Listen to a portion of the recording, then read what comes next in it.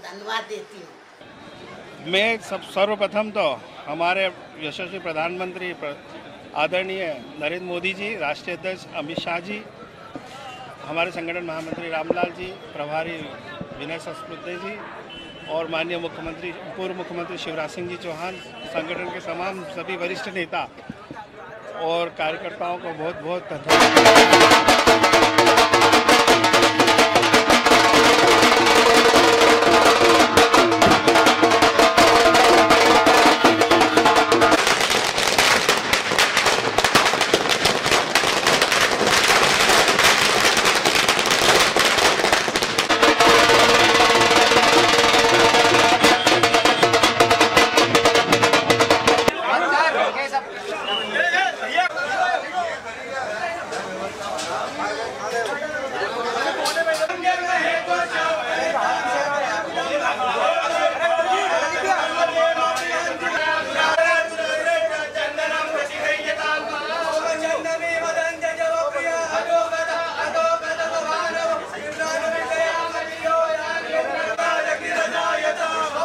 जनता के बीच में हम तो सतत हैं, लेकिन अभी हम जब वोट मांगने जा रहे हैं तो जो तीन महीने में कांग्रेस सरकार ने जनता के साथ जो झूठे वादे करे, किसानों के साथ झूठे वादे करे, युवाओं के साथ जो झूठे वादे करे, उसको लेके हम जनता के बीच में जाएँगे।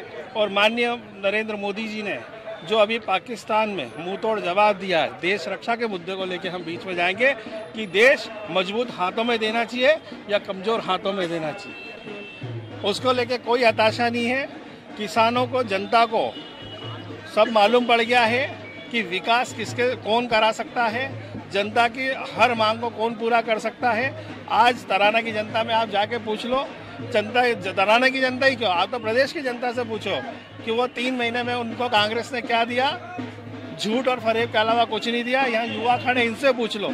उन्होंने बोला था, प्रत्येक बेरोजगार युवा को चार चार हज़ार डालेंगे। चार पैसे भी नहीं डाले, जो हमारी सरकार ने किसानों को सोयाबीन के समर्थन मूल्य डाला था, पाँच सौ रुपये प्रति कुंटल का, वो भी वापस सरकार ने ट्रेजरी से मका के अपने खातों में जमा कर लिया है। किसानों को एक फूटी कोटी नहीं दी। भारतीय जनता पार्टी का हमेशा मुद्दा विकास विकास और विकास रहा है।